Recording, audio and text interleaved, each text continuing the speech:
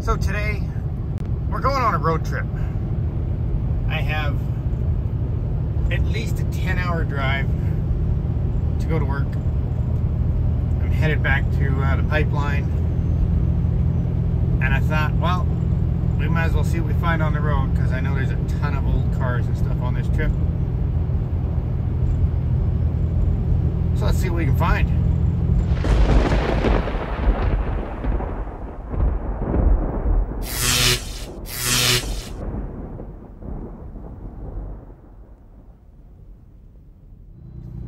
So we are in Westwold, BC right now.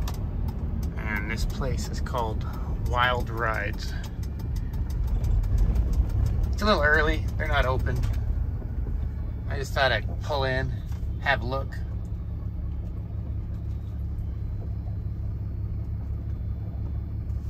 They got cool 50s diner, lots of old trucks.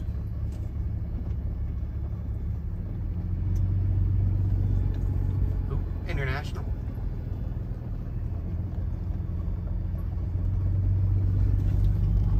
Pretty neat place. I think it's only open in the summertime.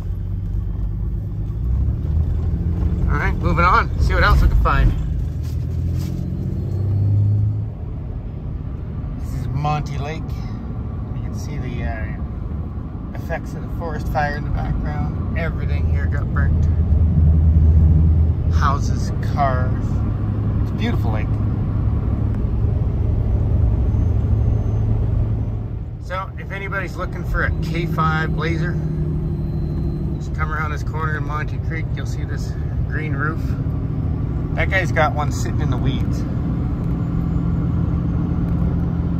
It's just sitting back almost almost in the creek.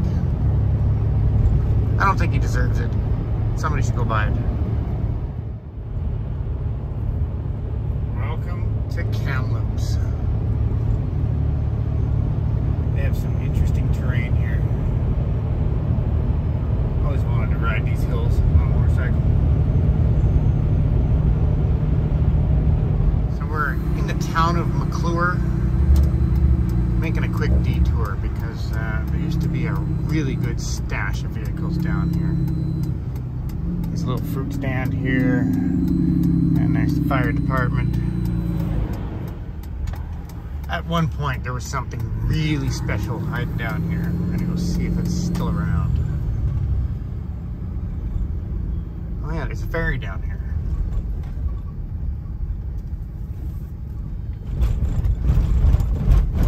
Well, this isn't what I was looking for, but there's a nice find. How about a 78 Bronco? It's got a set of swampers, dual shocks. Ha! Rust actually doesn't look too bad. What a beauty. Right where this little tractor is. This guy builds a lot of old Toyota Land Cruisers. He's got a lot of Toyota stuff in there.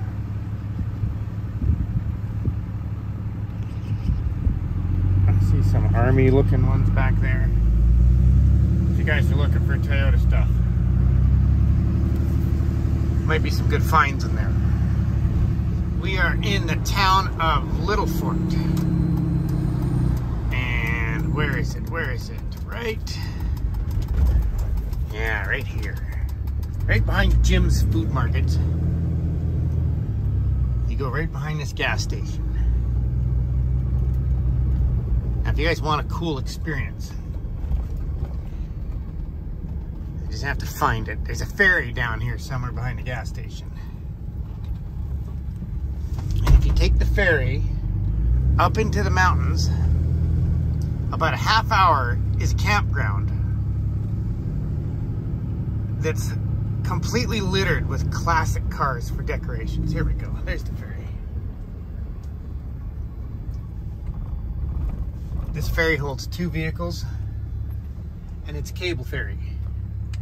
That's it. That little dock fits two vehicles and it follows the cables across. And then it takes you up in the mountains and there's an entire campsite that's just littered with classic cars for decorations. Highly recommend you experience it if you're uh, a fellow car person.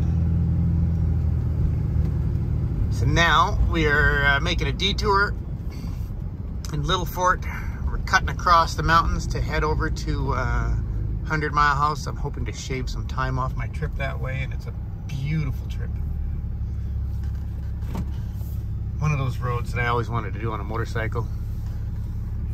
Did it my wife's Mazda one trip and was absolutely flying.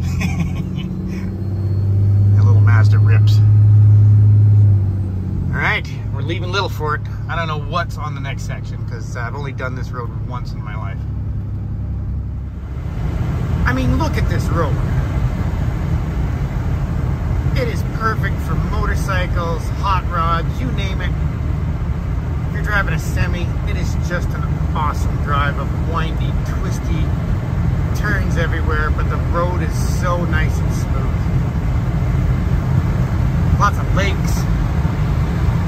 No phone service. That's it. Just riding or driving. Hard not to keep your foot out of it. So, uh, things are getting a little ugly around here. it's really smoky. I've gone 510 kilometers in the last couple hundred kilometers. I've only seen a few Chevy panel trucks, you know, 40s and 50s. I saw a bullet nose Studebaker, a second gen Camaro. Nothing worth actually stopping and filming. I did notice though that uh, as you get further north, crew cab uh, square body Chevys are uh, laying everywhere. You know, they use them for logging trucks and stuff, and they're still laying up here everywhere. Ooh, hey, there, there's an old one. That's like a 30s uh, stove bolt Chevy. I'm somewhere between uh, Quesnel and Williams Lake right now. But yeah, I'm uh, headed to the, uh, headed right to the heart of the forest fires. That's looking ugly. It's gonna get worse as I go too. I had to pull over for this one. That is just spectacular. I see stacks out the back. Got uh, dual steering stabilizers. Look at the big snorkel system out the hood and up front. Looks like there's a bird living inside of it. That's just awesome.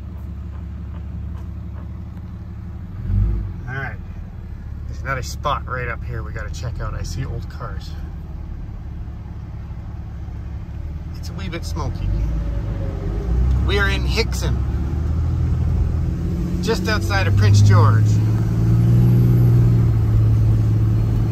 And I don't know what this is, but uh, kind of remember. Oh, look at that. We have a wrecking yard full of old cars. There's a jackpot. I see square body Suburbans. Look at all the fun stuff here. Look at the wagon. Lloyd's Classic Auto Parts. Buy, sell, and trade. 250-998-4636. Yeehaw cool stuff is still out there. I was starting to get worried.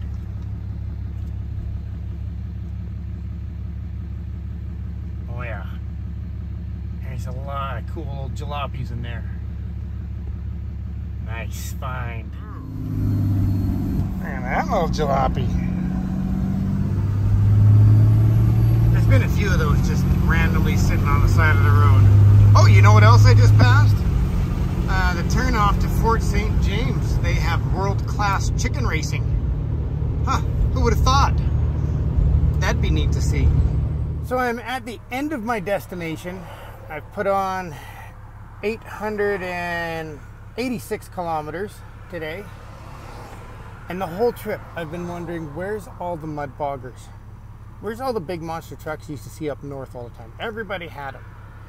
And right at my last turnoff, what do I see? Dave's Tire. Great big mud boggin Chevy with tractor tires. That's awesome. Dave's Tire, you're awesome. You just made the ending of my trip perfect. So I'm in camp now, you guys. Could be here for a month. I'm not sure. So who knows what's coming out for videos next.